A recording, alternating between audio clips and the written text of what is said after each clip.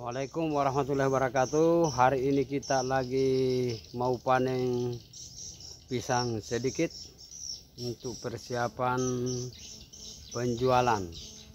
Oke terima kasih. Mari kita eksekusi. Bismillahirrahmanirrahim.